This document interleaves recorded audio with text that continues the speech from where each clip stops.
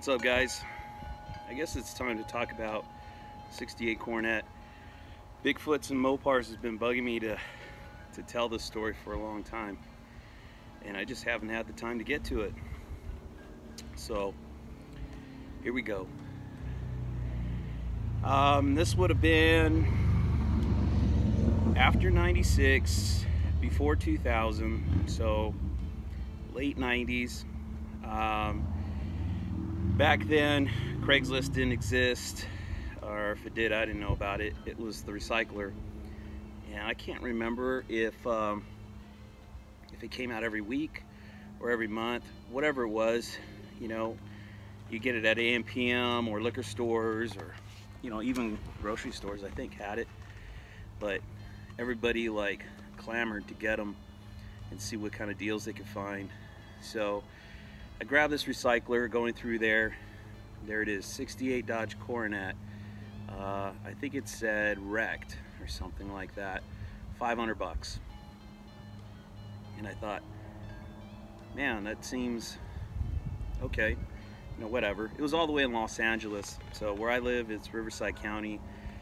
Uh, probably, probably an hour and a half to two hour drive to get there. So it was a little too far. So whatever, just kind of glazed back by it. The next recycler that came out was still in there. And I'm like, man, I could just feel the itch like I should call on this thing. I should, you know, check on this car. Um, so I didn't do anything. I don't I think it was like the third week or the third issue of the recycler, so maybe it was the third month. I don't I don't really remember how often they came out. But it was still in there. And I thought, man, I can't believe the car is still there. And I must have had the money or something, so I decided to finally call. Uh, girl answers the phone. um, she says that yeah, it was a, it was involved in a wreck. She said it was her baby. Um, her dad helped her put the car together, and she drove it, and uh, he painted it for her and stuff like that. And it was like her daily driver car had a little two barrel 318 in it. Uh, and its original paint code is UU1 which is this bright blue metallic. Um, when I got the car it wasn't this paint job. It was all dull and oxidized and stuff. And that was its second paint job. You know at the original paint then that paint job. This is the third paint job. So I asked I, I go it says it's wrecked. Like how bad is it? And she says oh it's totaled. And I'm like damn I'm like, man, it's kind of far to go all the way for a total car. And uh, uh, so I said, okay, so when you got in the accident, so what happened was she said a Cadillac ran a red light um, and it clipped the front of the car. So on the front of the car, well, I'll get into that. But basically it hit the front of the car and she said the lady was drunk and uh, and I said okay I go well so you had to trailer the car or the tow truck take the car away from the accident? And she goes, no, I drove it.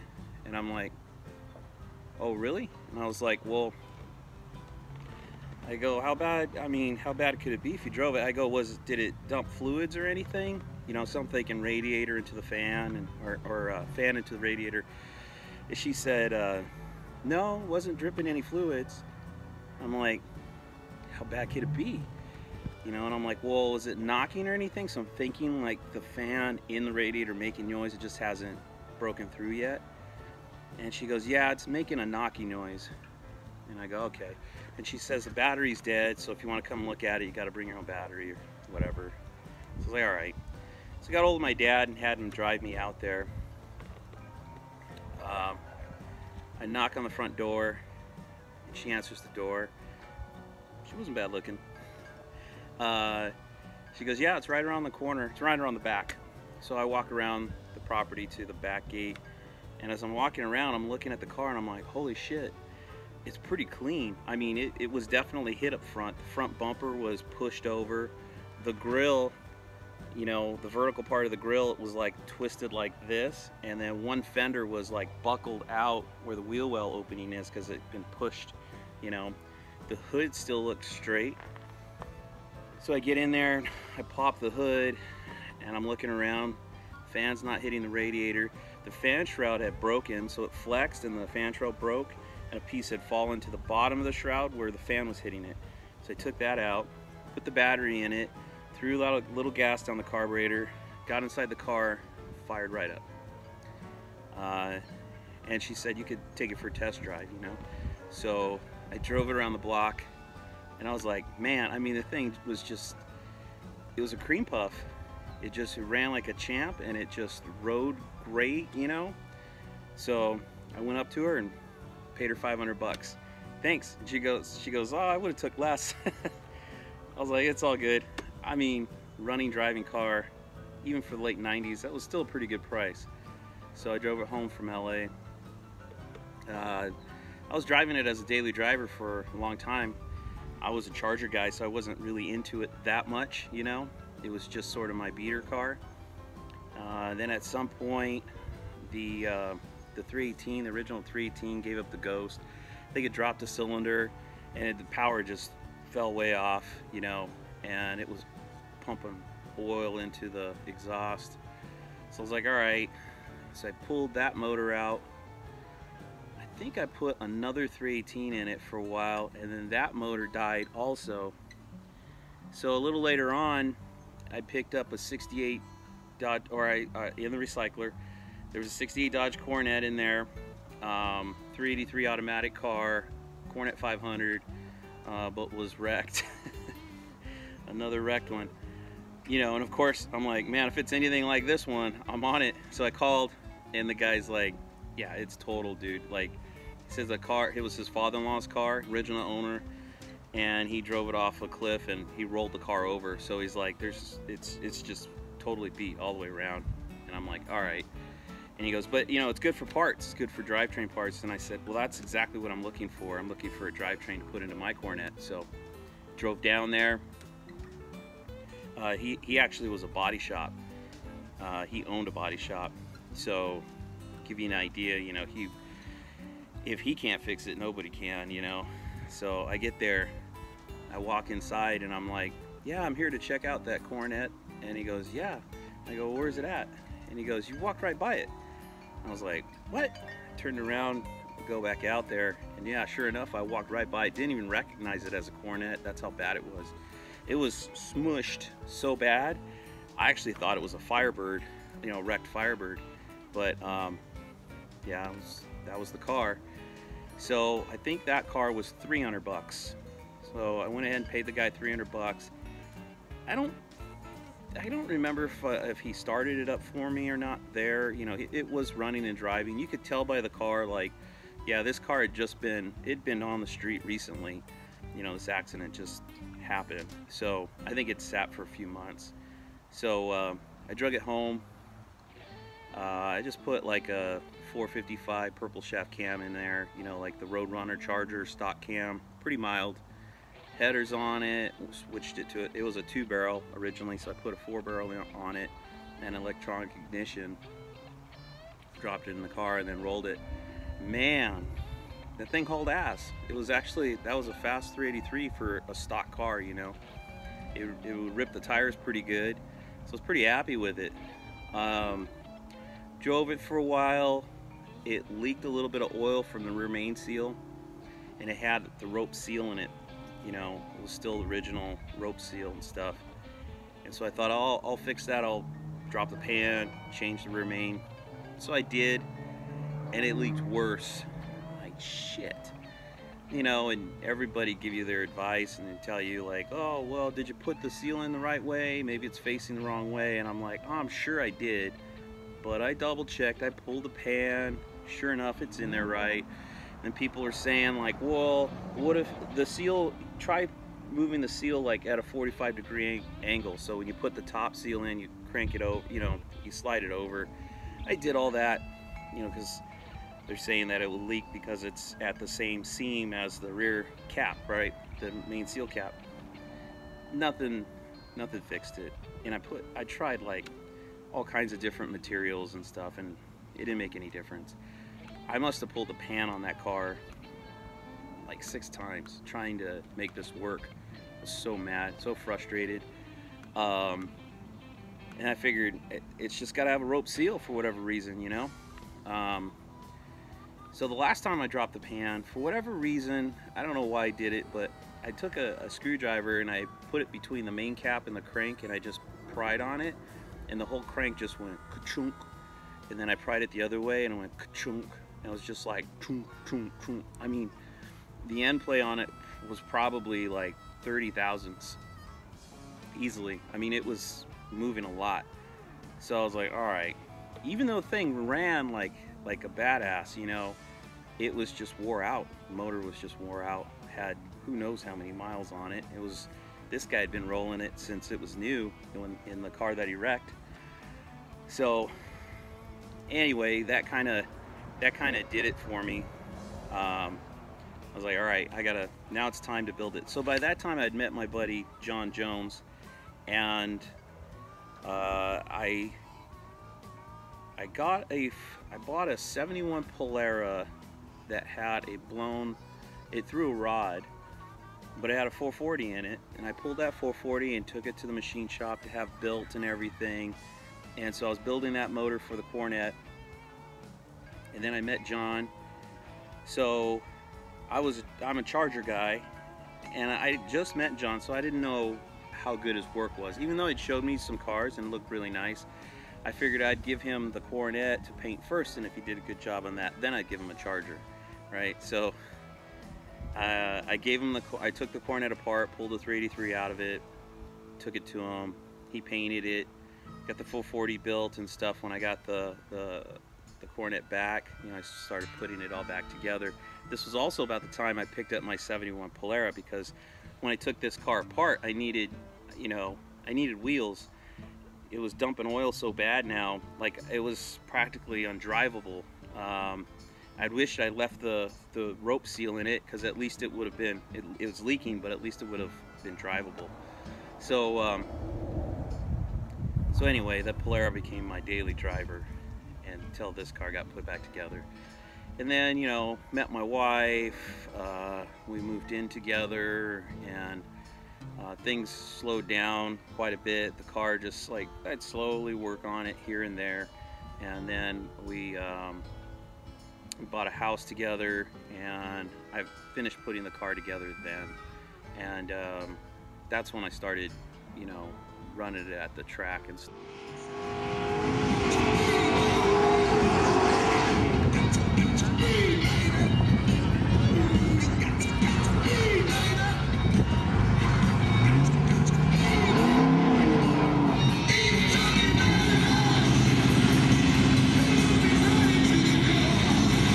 Let's play here with this camera.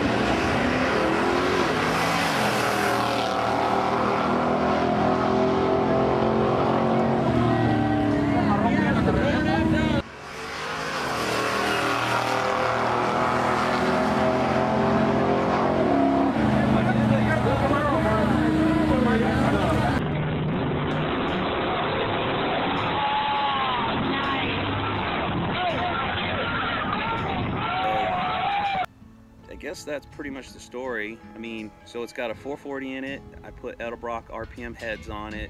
It's got an RPM uh, Performer intake manifold. It's got TTI headers. The TTI headers fit the car. It fit the 440 in a B body. Go figure. Um, aluminum radiator. It still runs hot. Like when I drive it in hot days, it, it still overheats and stuff. So it's more of a winter car. Um, but 8 and 3 quarter, 355 sure grip, uh, 727 automatic. I put a Frank Lupo dynamic converter in this car and man, what an awesome converter. I'd read so much stuff about them. I finally bought one and they're not cheap, but um, I want to say it's probably like, so like if the, if the converter is, and I can't even remember what the stall is on it. I want to say it's like around 35, 3800 RPM, but it engages way, like if you're just driving it on the street, it engages way uh, you know, sooner, like at a lower RPM. So if I just put it in drive and just cruise or whatever, it's not like the engine's going, what? Like a typical loose converter, you know, it revs up really high and then the car starts to move, which is kind of, kind of sucks like for daily use on the street. Um, now this thing, this thing acts more like a normal converter. Um, I think they say about 300 RPMs lower, but it seems like it's a lot more than that. The car is extremely drivable, so um, not really freeway flyer. I mean, I could go down the freeway, but with 355s, it's you're just three speed, you know. So the thing is screaming. If you if you as soon as you get up to around 80 miles an hour, the motor's humming, you know. But uh, yeah, that's my uh, that's my Coronet story. Um, oh, so I guess kind of backtracking. I had to replace the fenders on the car, the front bumper, the bumper brackets, the grill, and uh, surprisingly enough, even in the late late 90s, it was really hard finding fenders for this car. Like it was already hard finding charger parts, but I couldn't find fenders for shit. It took me a long time. Uh, finally found some, and uh, threw them on the car to roll it. So, oh, the track, uh, so I've only ran it in the eighth mile. I ran it at Qualcomm uh, down in San Diego, and I've ran it in Perris. And both tracks, they went. The car went 8-1. So they're kind of crappy tracks, and my Roadrunner is kind of built similar, you know, and I think it's similar in weight. I never weighed this car, but my Roadrunner weighs 3,400 pounds.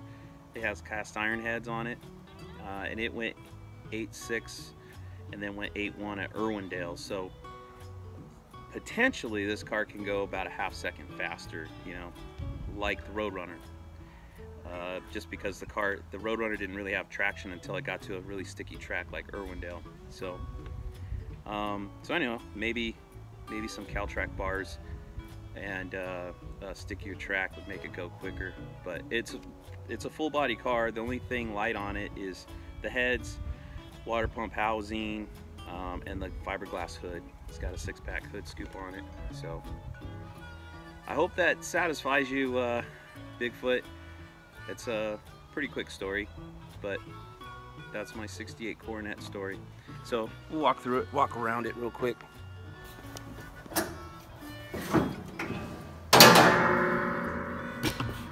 I don't know how well the lighting's gonna be. I'll show you the motor. It's not, it's not clean. It's 440. Like I said, came out of a 71 Monaco before I rebuilt it. TTI headers are two inch tubes. The exhaust on this thing is three inch. I've got uh, Flowmasters on it, dual chambers. So, Mopar electronic ignition.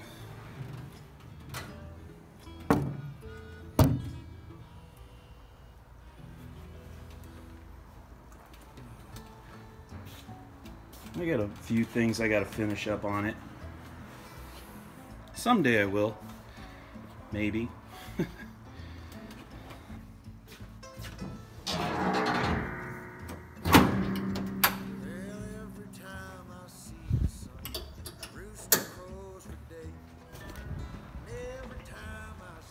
So I still have the original California plates.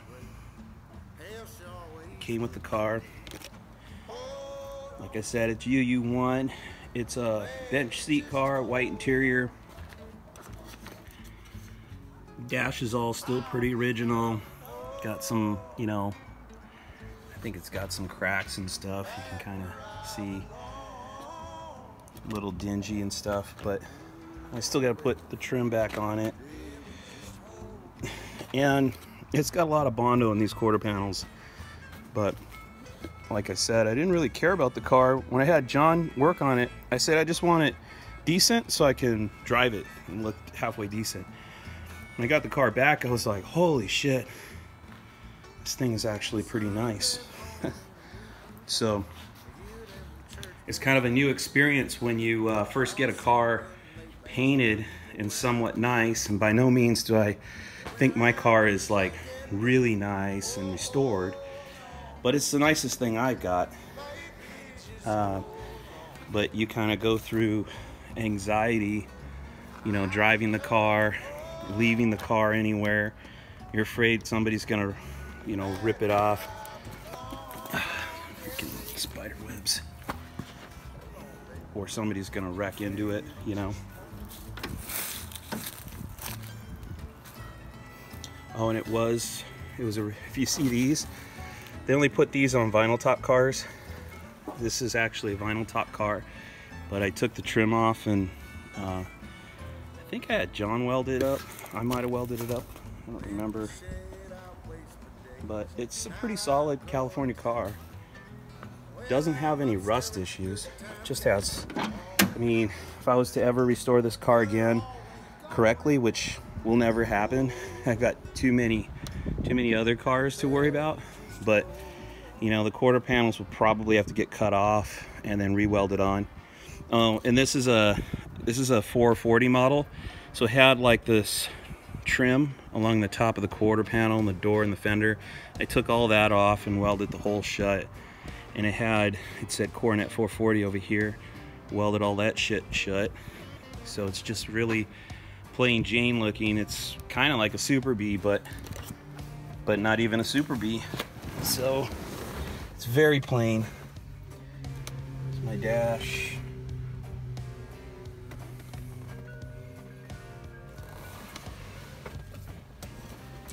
And no headliner. My headliner is trashed. someday, someday I'll put it in. And right now it's got something clunking around in the back. I think it's a U-joint, but I don't know. It could be something going on with the, the third member. I mean, I can still run it and drive it. I'm a little reluctant to take it apart, but I just need to get a third member ready so it's just a swap and then, and you know, some U-joints and roll it. So anyway, I hope you enjoyed this little story of my 68 Coronet. Um, you got any questions or stories of your own, definitely say something in the comments. And uh, we'll catch you on the next video.